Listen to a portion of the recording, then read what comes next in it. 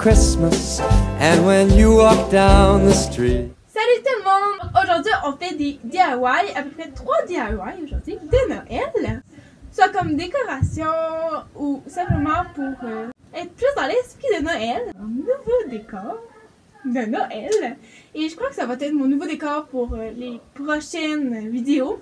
Parce que vu que je suis en apprentissage, ben, je commence à découvrir des nouvelles affaires. Donc, euh, c'est parti pour la vidéo.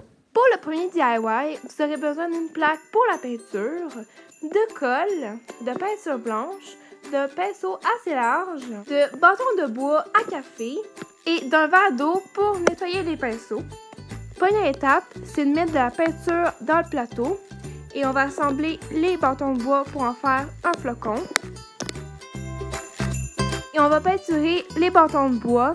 C'est pas nécessaire de faire l'arrière vu qu'on va juste voir euh, le devant.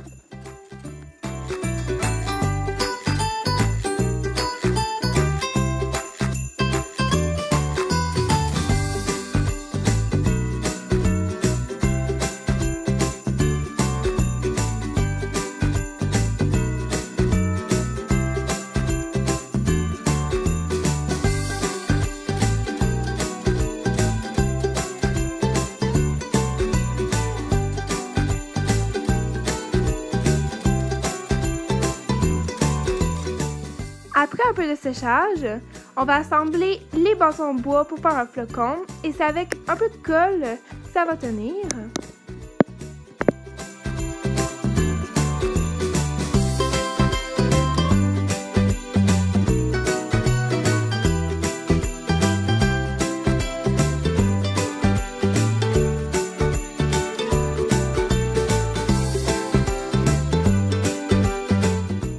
J'ai oublié de préciser, mais il vous faut des brillants or. Et pour que ça tienne, vous devez mettre un petit peu de colle avant.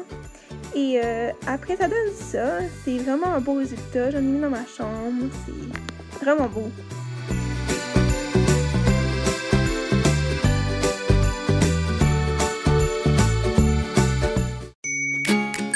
Le deuxième DIY est vraiment simple.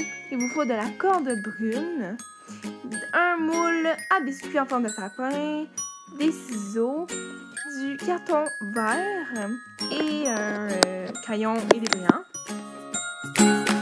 Première étape, on va tracer le sapin à l'aide du moule.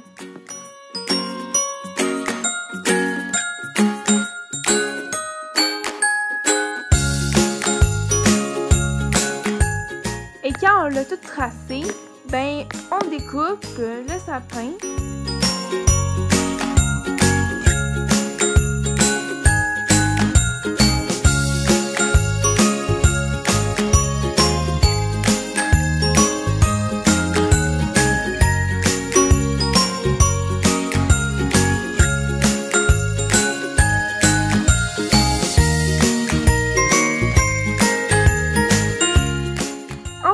On va prendre à peu près, euh, je dirais 30 cm ou c'est comme vous le voulez, de corde brune. Et euh, après, on euh, prend de la colle, on le met sur le sapin pour mettre les brillants. Et c'est vraiment pas nécessaire les brillants comme moi j'ai mis, mais il y avait d'autres sapins que fait, ben je n'ai pas mis parce que c'est simplement au choix. Et euh, pour finir, ben on met un peu de scotch euh, en arrière euh, du sapin pour coller la corde et le sapin ensemble et ça va donner cela.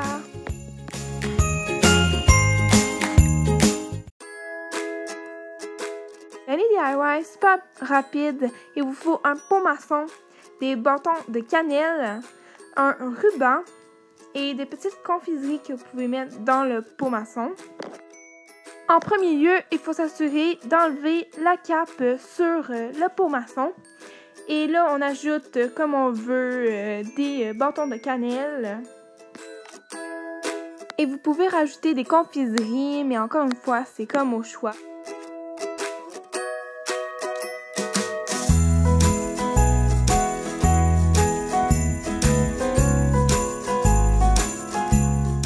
Et au final, ça va donner cela.